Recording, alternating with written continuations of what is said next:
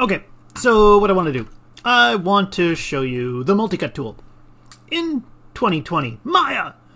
Um, so some things to note. First off, what is it? In the polymodeling shelf, it's sitting over here.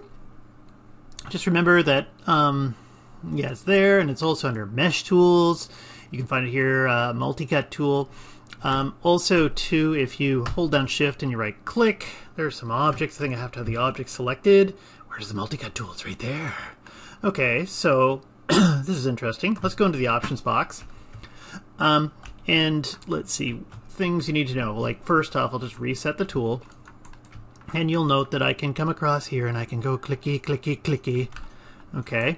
And right click, that finishes it off, or you can press enter. You can draw points out in the middle here. Uh, if I hit enter, that finishes it. If I hit G um, G repeats the last tool command. You bastard. I sometimes find this tool is a little bit funky um, because you bastard. Right here, I'm trying to get this point and I'm having an issue. Okay, let's go there and over to here and right click. Let's just right click that thing and I've totally found an issue. Might be them in 2020, who knows. I'm not really crazy about 2020. Um, I'm just going to delete the history and see if that helps. I'm going to try this one more time. There to there. Okay, so I just had to do something like that and everything's cool. And I can go back like this. Great. So, um, what do we have? We've got this thing called the step snap. And so the step snap, if I hold down shift, it will snap to the center and then it gives you a percentage. Okay, so it has 10% increments. So I can hold down shift, boink, and then I let go of shift, and then I can do it wherever I want to. Knock it into a corner. Okay, that's cool. Um, you'll also notice that if I um, go in here and I hold down control, control turns on the insert edge loop function. Okay, and if I hold down control and then shift, you'll see that it snaps as well. Boop, so it'll snap directly in the center. And let's see, it's almost like I should put in the insert edge loop tool into this thing as well, just to talk about that. The smoothing angle is set to 180 by default, so that's good. You'll always have a smooth angle. That's why I think this thing is set to 30 in most uh, tools.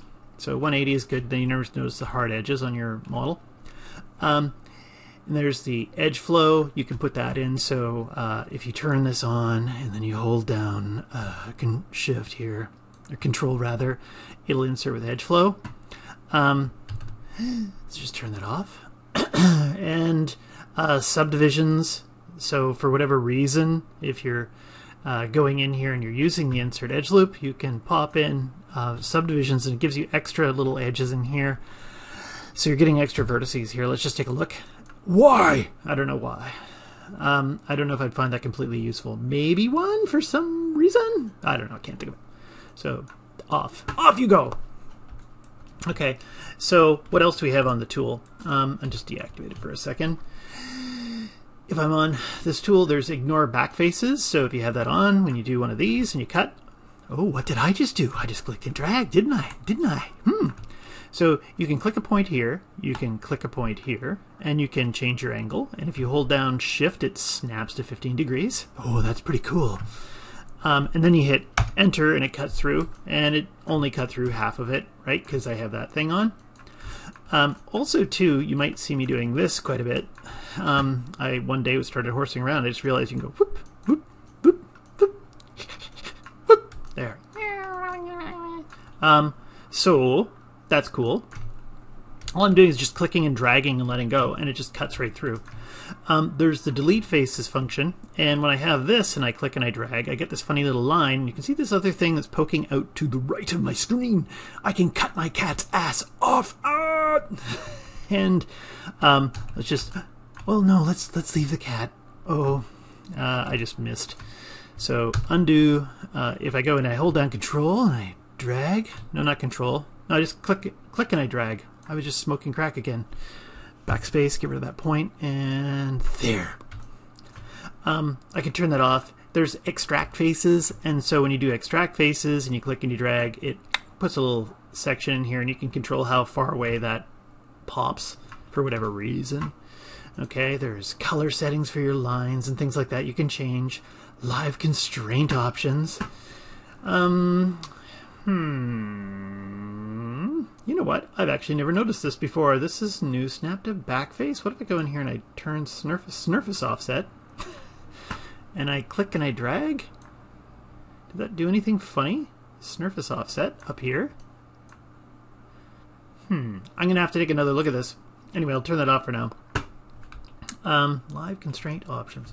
So maybe it's something to do with the make live tool. Uh, but the big thing I wanted to get to, because um, I primarily use uh, Maya 2019. I'm not touching 2020 until later on.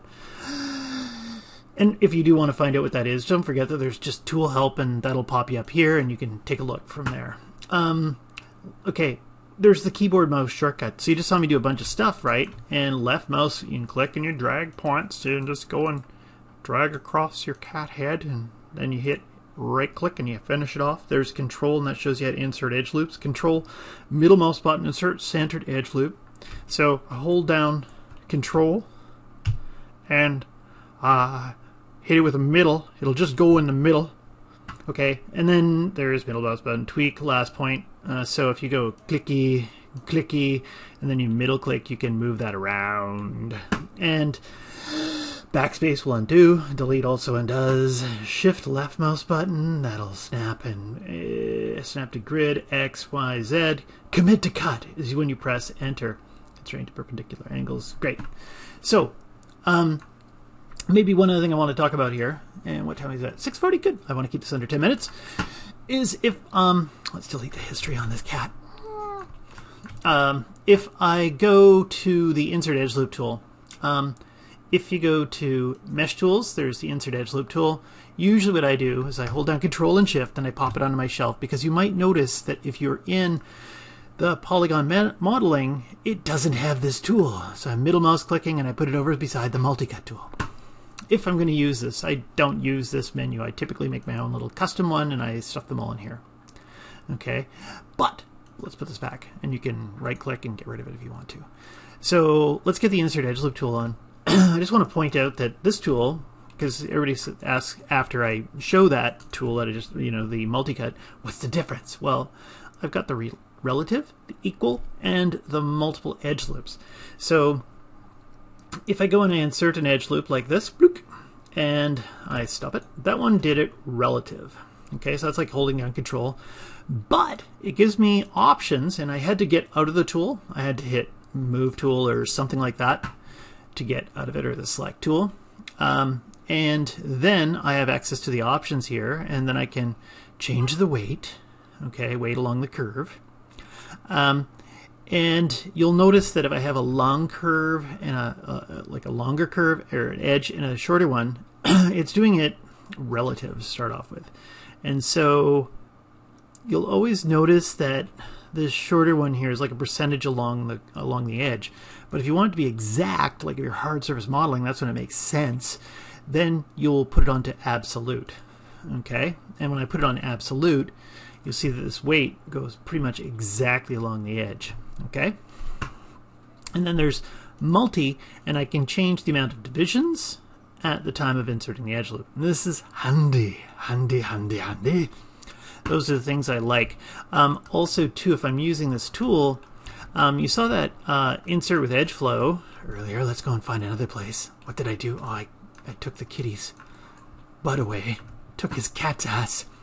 That's how you get rid of a cat's ass. Anyway, um, if I take this tool and I hold down shift when I'm using it, I get insert with edge flow, which is sometimes handy. See, that just kind of went in and made a perky little loop.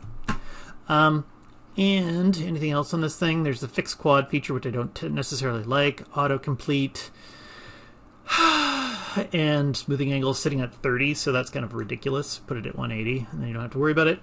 Anything else I can say about that? That's the difference between the two tools. Maybe one more, because I want to finish this really quick. Don't forget that you've also got, under mesh tools, there is the, uh, where the hell are you? Offset edge loop tool. Okay, offset edge loop. I click on this edge, and I can get one on either side. God damn it! Freaking car. Okay, and and I can change that and you see I couldn't get to it I have to go and switch to the tool then I can open this up and I can change the offset amount here Okay, and if you hold down uh, control when you do this, you get an extra decimal point of control. Um, you can switch from relative to absolute. So if you're hard surface modeling, that makes sense. These functions also, one last little tidbit of information, is if I grab this edge and I hold down control and I right click, there's edge loop utilities. And there's edge loop and duplicate. This tool, the offset edge loop tool, used to be called the duplicate edge loop tool long ago. And there, you can do the exact same thing. It just offsets to 50% right away. Okay, great.